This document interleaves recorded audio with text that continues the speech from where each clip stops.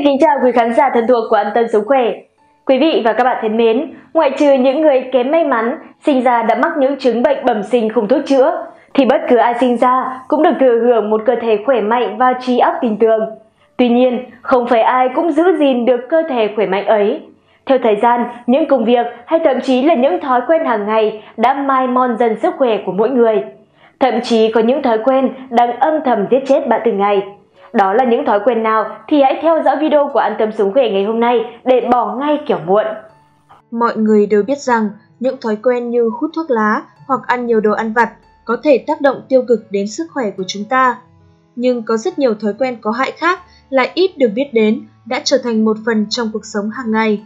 Giữ ví trong túi sau Bất cứ ai mang ví đều biết rằng nơi thuận tiện nhất để giữ nó là ở túi sau của quần jean. Việc ngồi trên ví ngay cả trong khoảng thời gian 15 phút ngắn ngủi có thể khiến cột sống và dây chằng cột sống của bạn bắt đầu thay đổi. Điều này cuối cùng sẽ tạo ra sự bất đối xứng và có thể phá vỡ sự liên kết bình thường của cột sống. Ngồi trên ví trong thời gian dài có thể gây đau lưng mãn tính, đau thần kinh tọa và vẹo cột sống chức năng. Mang đồ điện tử lên giường trước khi đi ngủ Các nghiên cứu gần đây đã chỉ ra rằng việc sử dụng các thiết bị điện tử trước khi đi ngủ sẽ làm giảm chất lượng giấc ngủ. Sử dụng thiết bị điện tử để ngay trên giường ngủ cũng gây hại cho hệ thần kinh. Việc sử dụng thường xuyên các thiết bị điện tử trước khi đi ngủ không chỉ làm ảnh hưởng đến chất lượng giấc ngủ mà còn khiến chúng ta tăng cân và gây ra mệt mỏi vào ban ngày. Bạn nên tránh sử dụng các thiết bị điện tử trong ít nhất một giờ trước khi đi ngủ nhằm cải thiện đáng kể chất lượng giấc ngủ và giữ gìn sức khỏe của mình. Rửa tay bằng nước nóng các nghiên cứu khác đã xác nhận rằng nước nóng và nước lạnh có hiệu quả như nhau trong việc tiêu diệt vi trùng và loại bỏ vi khuẩn khỏi tay chúng ta. Theo các nghiên cứu này, dù 38 độ C hay 16 độ C, nhiệt độ nước không đóng vai trò quan trọng trong việc giảm vi khuẩn. Hơn nữa, các nghiên cứu đã chứng minh rằng nước lạnh thực sự tốt cho sức khỏe của chúng ta hơn là nước nóng. Đánh răng ngay sau khi ăn Mặc dù một số người trong chúng ta có xu hướng đánh răng ngay sau khi ăn, nhưng theo nhiều nghiên cứu, bạn nên đợi ít nhất 30 phút sau khi ăn rồi hãy đánh răng. Răng của chúng ta được bảo vệ bởi men răng và axit được tạo ra bởi các loại thực phẩm khác nhau có thể làm mòn men răng bảo vệ này. Có nghĩa là răng của chúng ta đang ở trạng thái yếu nhất ngay sau khi ăn. Rất may, cơ thể chúng ta có cách cân bằng nồng độ axit cao với sự trợ giúp của nước bọt, nhưng điều đó cần có thời gian. Vì vậy, đánh răng ngay sau khi ăn có nghĩa là bạn đang tấn công răng của mình ngay cả khi bạn sử dụng bàn chải đánh răng mềm. Máy sấy tay Máy sấy tay có thể là một giải pháp thân thiện với môi trường hơn khăn giấy, nhưng chúng chắc chắn không tốt cho sức khỏe của chúng ta. Một nghiên cứu cho thấy máy sấy tay trong phòng vệ sinh công cộng có thể lây lan vi khuẩn lên tay của bạn. Cơ chế mà máy sấy tay sử dụng bằng cách thổi không khí, từ đó dễ truyền vi khuẩn trong không khí của phòng vệ sinh lên cơ thể bạn. Tiêu thụ quá nhiều muối Mặc dù muối có thể làm cho món ăn ngon hơn, nhưng nó không tốt cho sức khỏe của chúng ta. Lượng muối bạn tiêu thụ có ảnh hưởng trực tiếp đến sức khỏe của bạn và nó có liên quan đến các tình trạng như huyết áp cao, bệnh tim và ung thư dạ dày.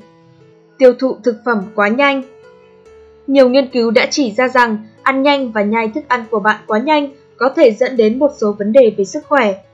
Ăn nhanh có thể dẫn đến tăng cân với tốc độ nhanh và thậm chí có thể làm tăng nguy cơ mắc các bệnh tim tiểu đường và đột quỵ. Làm sạch tai bằng tăm bông Làm sạch tai của bạn bằng tăm bông gây hại nhiều hơn là tốt. Theo một số nghiên cứu, làm sạch tai của bạn bằng tăm bông sẽ đẩy giái tai sâu hơn vào ống tai. Nó cũng có thể dẫn đến nhiễm trùng, thùng màng nhĩ và ù tai. Uống quá nhiều nước trái cây. Một thực tế là nước cam rất giàu vitamin C, vitamin B và các chất chống oxy hóa khác nhau. Nhưng trên thực tế, uống nước trái cây được coi là một thói quen lành mạnh. Tuy nhiên, Uống quá nhiều nó có thể gây hại cho sức khỏe của chúng ta, vì nó có thể gây sâu răng, tiểu đường loại 2 và béo phì. Lý do tại sao uống quá nhiều nước trái cây lại có hại cho chúng ta là vì nó chứa hàm lượng đường fructose cao. Không quan trọng bạn đang uống loại nước ép nào, bởi vì ngay cả những loại nước ép chất lượng cao nhất vẫn chứa một lượng đường đáng kể. Ngủ quá nhiều Giấc ngủ là thời gian để cơ thể phục hồi và thư giãn. Bạn sẽ sai lầm khi cho rằng ngủ nhiều hơn tương đương với việc cơ thể sẽ nghỉ ngơi nhiều hơn và sức khỏe tốt hơn. Các nghiên cứu đã chứng minh rằng ngủ quá nhiều sẽ mang một số mối nguy hại cho sức khỏe. Thời lượng ngủ phù hợp thay đổi từ người này sang người khác, nhưng điểm chuẩn chung của giấc ngủ ngon là khoảng từ 7 đến 9 tiếng. Ngủ quá nhiều một cách thường xuyên có thể gây ra trầm cảm, bệnh tim, béo phì và suy giảm chức năng não. Đó là những thói quen hàng ngày là kẻ thù của sức khỏe và tuổi thọ của mỗi người. Tuy nhiên, bên cạnh đó, chắc chắn mỗi người, đặc biệt là các chị em phụ nữ mỗi ngày lại lo lắng hơn về nhan sắc, về sự tươi trẻ của khuôn mặt mình đúng không ạ? Vậy thì mời quý vị và các bạn cùng đón xem để biết đâu là những thói quen gây thù chuốc oán với nhan sắc làm cho bạn già đi mỗi ngày. Căng thẳng Chúng ta không thể thoát khỏi căng thẳng, nhưng có thể cố gắng kiềm chế cảm giác lo lắng. Lo lắng không chỉ làm cho chúng ta không hạnh phúc, sốt ruột và mệt mỏi, mà còn thực sự khiến bạn già đi. Việc lo lắng sẽ ảnh hưởng đến giấc ngủ, trí nhớ và tâm trạng của bạn. Những gì bạn có thể làm mỗi khi lo lắng, hãy nhìn vào một bức tranh lớn, hít thở thật sâu hãy tham gia một vài hoạt động thể chất như đi bộ hoặc một vài tư thế yoga. Ngồi thiền cũng rất là hữu ích, đừng để cảm giác lo lắng liên tục diễn ra. Nghiện ăn đường Đường có nhiều lợi ích khác nhau, nhưng các chuyên gia y tế cho rằng đường đang âm thầm làm chúng ta lão hóa. Đường làm tổn thương da bằng cách làm khô các collagen và elastin tự nhiên dẫn đến da xấu đi, nhăn nheo, chảy xệ và dễ hình thành nếp nhăn. Quá trình này cũng gây ra cuồng thâm và bọng mắt, khiến chúng ta già đi nhưng triệu chứng này bắt đầu có lúc khoảng 35 tuổi và nhanh chóng tăng lên sau đó. Những gì bạn có thể làm? Hãy cố gắng giảm thiểu lượng đường tiêu thụ ở mức tối thiểu. Hãy đặt ra mục đích tiêu thụ không quá 10% lượng calo hàng ngày có nguồn gốc từ đường. Đọc nhãn hiệu và cố gắng hạn chế ăn đường. Giận dữ Hận thù hay giận dữ không chỉ gây tổn hại sức khỏe tinh thần của bạn mà còn khiến bạn già đi một cách nhanh chóng. Nếu có thể để mọi thứ ra đi, bạn sẽ trẻ ra một vài tuổi. Nghiên cứu đã chỉ ra mối quan hệ giữa sự tha thứ và sức khỏe thể chất. Một nghiên cứu được công bố trên tạp chí y học hành vi cho thấy thiếu bao dung làm giảm chất lượng giấc ngủ, tăng hormone căng thẳng, tăng huyết áp cũng như lượng đường trong máu, dẫn đến tăng cân và khả năng cần thuốc. Trong thời gian ngắn, hãy học cách cho đi để bạn có thể sống lâu hơn. Những gì bạn có thể làm, nhận thức được rằng hận thù và oán giận làm tổn thương bạn nhiều hơn người khác. Sự tha thứ không có nghĩa là bạn cần trở thành một nạn nhân cho đi và bạn có thể hạnh phúc và sống lâu hơn. Ôm chặt chiếc điều khiển. Nghiên cứu trên tạp chí Y học Thể thao Anh đã phát hiện ra rằng mỗi giờ ngồi trước TV đã rút ngắn tuổi thọ của bạn 22 phút, thậm chí nhiều hơn. Những người xem TV hơn 6 tiếng mỗi ngày có tuổi thọ thấp hơn trung bình 5 năm so với những người không xem TV. Và trong khi bạn không thể thay đổi một công việc ít vận động, bạn có thể kiểm soát thời gian xem TV của mình những gì bạn có thể làm, giải pháp đơn giản nhất là xem TV ít hơn, cố gắng đứng dậy và đi bộ xung quanh trong những dịp cuối tuần.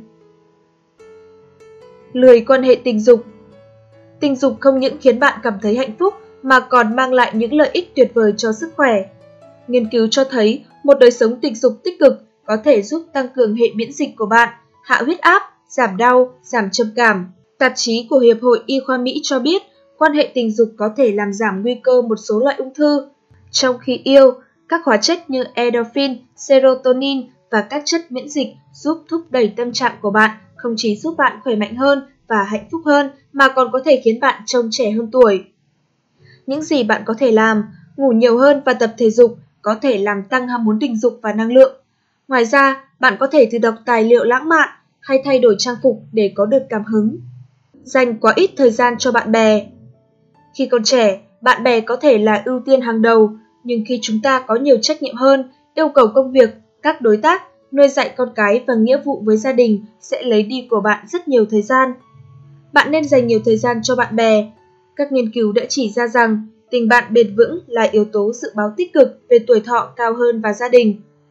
Tình bạn đẹp có thể giúp làm giảm bớt trầm cảm, căng thẳng tinh thần cũng như làm giảm các nguy cơ mắc các bệnh mãn tính tất cả đều khiến chúng ta già đi quá sớm. Những gì bạn có thể làm? Dành thời gian ở bên bạn bè thường xuyên hơn, ít nhất là một lần một tuần, liên lạc qua các phương tiện liên lạc như email, Facebook. Hãy thăm hỏi với một người bạn cũ và nuôi dưỡng một tình bạn lâu dài. Nghĩ tập thể dục chỉ để giảm cân Cho dù bạn cần phải giảm cân hay không, tập thể dục sẽ giúp bạn trẻ ra. Tập thể dục thậm chí là chỉ 30 phút đi bộ mỗi ngày có thể làm giảm viêm, hạ huyết áp, cải thiện trí nhớ và sự tập trung, tăng trương lực cơ, trên hết là làm giảm đáng kể căng thẳng mãn tính. Ngoài ra, tập thể dục thường xuyên sẽ giúp tránh xa tăng cân, bảo vệ cơ bắp và mật độ xương. Những gì bạn có thể làm, đi bộ hàng ngày với một người bạn hoặc thú cưng, hãy tham gia một môn thể thao với một nhóm bạn hoặc lớp. Điều đó có thể làm tăng cảm hứng để bạn tập thể dục mỗi ngày. Không dùng kem chống nắng Chắc chắn bạn nhớ dùng kem chống nắng khi đi đến bãi biển, nhưng có thể bạn quên khi lái xe đi làm, dắt chó đi dạo hay đi làm việc vặt. Thường xuyên tiếp xúc với ánh nắng mặt trời có thể gây lão hóa sớm một cách đáng kể. Các nhà nghiên cứu tại Úc gần đây chỉ ra rằng những người sử dụng kem chống nắng hàng ngày có làn da đẹp, mịn màng và tươi trẻ hơn. Vì vậy, bỏ qua kem chống nắng hàng ngày không những làm tăng nguy cơ ung thư da mà còn làm suy yếu các tế bào và làm da của chúng ta dễ bầm tím, tổn thương. Những gì bạn có thể làm, hãy tìm mua một lọ kem chống nắng phổ biến để có thể bảo vệ làn da của bạn chống lại tia UVA và UVB với SPF ít nhất là 15, tốt hơn là ở mức 30. Khi sử dụng, hãy dàn đều kem chống nắng trên gương mặt của bạn và cả vùng da dễ tiếp xúc với ánh nắng mỗi ngày. Sử dụng kem chống nắng đã trở thành một thói quen, mỗi ngày bạn chỉ cần mất vài phút để trẻ da đến 5 tuổi. Một người có sức khỏe tốt sẽ làm việc lâu và hiệu quả hơn, có tinh thần sảng khoái hơn. Tuy nhiên, để có một cơ thể khỏe mạnh trong thời buổi hiện nay thì không phải điều dễ dàng. Đó là cả một quá trình hình thành và duy trì cho những thói quen tốt cho sức khỏe. Tiếp theo, An Tâm Sống Khỏe sẽ gợi ý cho các bạn một số thói quen nên làm hàng ngày để có một cơ thể khỏe mạnh. Uống nhiều nước mỗi ngày. Nước chính là thành phần quan trọng góp phần thanh lọc cơ thể, bài trừ các độc tố gây bệnh, giúp làn da căng tràn sức sống, tăng khả năng tập trung và giúp tinh thần sảng khoái, minh mẫn hơn. Nước chính là nguyên tố quan trọng chăm sóc sức khỏe của bạn, từ bên trong và làm đẹp cho bạn từ bên ngoài. Do đó, uống nhiều nước mỗi ngày là thói quen cơ bản và quan trọng nhất giúp nâng cao sức khỏe của chúng ta. Hãy tập cho mình thói quen uống 2 lít nước mỗi ngày. Nếu hoạt động thể chất nhiều như chơi thể thao, chạy bộ thì bạn nên uống để bổ sung tránh cơ thể bị mất nước. Bên cạnh nước lọc tinh khiết, bạn có thể bổ sung cho cơ thể các loại nước khác nhau như trà thảo mộc, trà thanh nhiệt, nước ép trái cây để tăng cường vitamin và khoáng chất cho cơ thể. Đặc biệt, đừng bao giờ quên việc đầu tiên bạn cần làm trong ngày là uống một cốc nước đầy vào mỗi buổi sáng để bổ sung nước cho cơ thể sau một đêm dài thiếu nước, giải độc hiệu quả lắm đấy. Ăn một bữa sáng nhiều chất dinh dưỡng. Hãy luôn đảm bảo rằng bạn luôn ăn sáng mỗi ngày vì đây là bữa quan trọng nhất. Một bữa sáng thịnh soạn cung cấp đầy đủ dinh dưỡng và nguồn năng lượng dồi dào cho các hoạt động ngày dài của bạn. Đừng bao giờ vì quá bận rộn hay dậy trễ mà bỏ bữa ăn sáng nhé, vì hoạt động này kéo dài sẽ là tác nhân khiến sức khỏe của bạn xuống cấp trầm trọng trông thấy. Lựa chọn cho mình một bài tập thể dục hoặc môn thể thao phù hợp. Cuộc sống của bạn sẽ trở nên lành mạnh hơn, sức khỏe của bạn sẽ dẻo dai hơn nếu bạn thường xuyên vận động hay chơi một môn thể thao yêu thích. Hãy lựa chọn cho mình một không gian tập với một môn thể thao hay một bài tập thể dục phù hợp dành ít nhất mỗi ngày 20 phút để tập luyện một cách thường xuyên, đều đặn nhé. Một khi bạn đã hình thành thói quen này, bạn sẽ cảm nhận được sự khác biệt trong chính cơ thể và các hoạt động sống của mình đấy. Những bài tập thể dục, yoga, gym, thể dục nhịp điệu, chạy bộ, bơi lội đều là sự lựa chọn phù hợp cho hầu hết chúng ta. Rửa tay thường xuyên và đúng cách. Trong công việc hàng ngày, chúng ta thường chạm tay vào rất nhiều thứ, vì thế, các vi trùng gây bệnh có thể dễ dàng chuyển từ tay lên miệng. Do đó, rửa tay thường xuyên là cách đơn giản nhưng hiệu quả để bảo vệ sức khỏe của bạn. Và nhớ rằng bạn phải rửa tay đúng cách, rửa từng ngón và đừng quá vội vàng. Ngủ đủ giấc theo nhịp sinh học cơ thể. Nếu giấc ngủ của bạn có vấn đề, ngủ không đủ giấc, mất ngủ, thì chắc chắn điều này sẽ khiến sức khỏe của bạn ngày càng xuống dốc. Chính vì thế, hãy tìm mọi cách để tạo cho mình một giấc ngủ sâu và ngon như sau.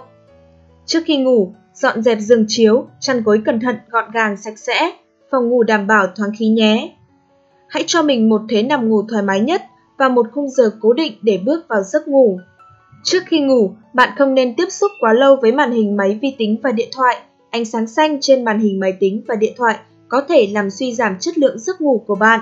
Giấc ngủ ban đêm đảm bảo 8 tiếng một ngày, buổi trưa hãy tranh thủ chợp mắt khoảng từ 20 đến 30 phút để tái tạo năng lượng và làm đầu óc minh mẫn hơn nhé. Bổ sung vitamin và khoáng chất cho cơ thể đầy đủ. Các loại vitamin, vitamin A, nhóm B, C, D, E và khoáng chất là những dưỡng chất vô cùng quan trọng cho cơ thể chúng ta. Chính vì vậy, hãy bổ sung vitamin và khoáng chất cho cơ thể đầy đủ bằng cách ăn nhiều rau xanh, hoa quả tươi mỗi ngày, Uống bổ sung các loại viên uống tổng hợp theo chỉ dẫn của bác sĩ. Bổ sung vitamin bằng hoa quả và rau tươi. Sức khỏe là điều kiện tiên quyết và quan trọng nhất. Nếu bạn muốn có một cuộc sống hạnh phúc, không có sức khỏe thì bạn không thể học tập, lao động và làm việc được. Do đó, hãy giữ gìn sức khỏe của mình ngay bây giờ các bạn nhé.